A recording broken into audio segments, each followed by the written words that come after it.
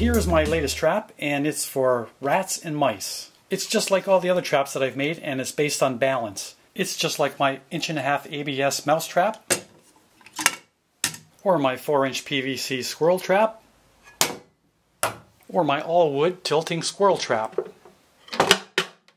If you want to make any of these traps, it'll be right in the description below. And it's very easy to set. You just tip it back, flip the door open, put it on top of the pin. The animal goes inside, goes to the back. It drops down, and then this paper clip right here won't allow the door to open and he's trapped inside. So this is really easy to make. So the main part of the body here is 16 inches long and it's 3 inch PVC pipe. It's easy to lift the trap up so you can clean it out or you can bait it. This piece here that it pivots on is just a piece of PVC pipe and it's three inches wide.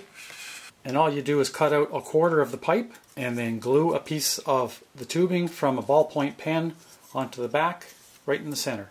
Once you put this piece on, you can move this back and forth in order to get the balance just perfect. The cap at the end here is just a 3 inch PVC cap. When you put this cap on, don't use glue or anything. Just push it on, a resistance fit works perfectly. And at the front here, this is a hinge I bought at Home Depot. And the door here is what's called a test cap. It's a 4 inch test cap and that way we've got enough room here to put the hinge on for the 3 inch pipe. And to attach the cap to the tube, just place the tube on top of the cap, making sure that it's flush with the cap, and then place your hinge on it and mark it with a pencil and pre-drill the holes. Now these screws here are smaller than the holes and the washer and the screw together gives it some play in order to be able to move it around and adjust it so that you can get it to close nice and flush with the pipe. Our mounts here where the trap pivots on is just paper clips. And you can get these at the dollar store and they measure 2 inches long. And then all you do is take a pair of pliers and bend them. And this is the size of screw I use along with some small washers to mount them. Then once you get them on here with a washer, they're fully adjustable so that you can dial it in to get the adjustment just perfect. Then at the front you just do the same thing. You bend paper clip here to catch the door and you bend a paper clip open to hold the door up.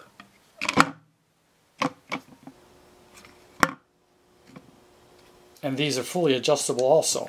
And when you're balancing the trap, just use 5 nickels as the weight of a mouse. And how do I know that a mouse weighs 5 nickels?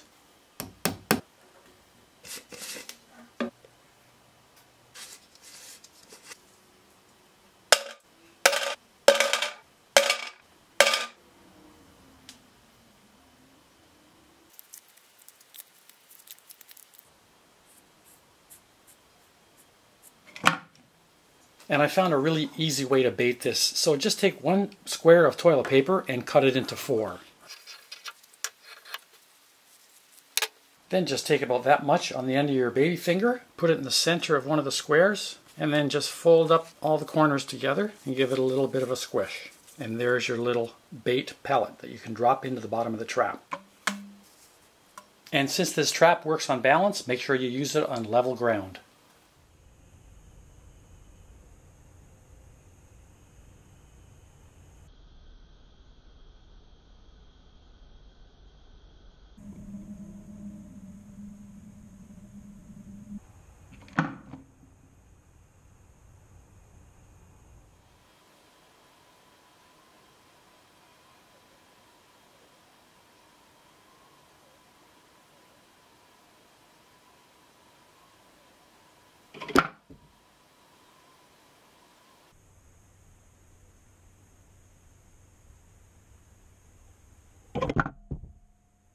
So when you come out in the morning and you see that the door is down, for sure there's a mouse in there. So just grab the trap and stand it on its end and have a peek inside.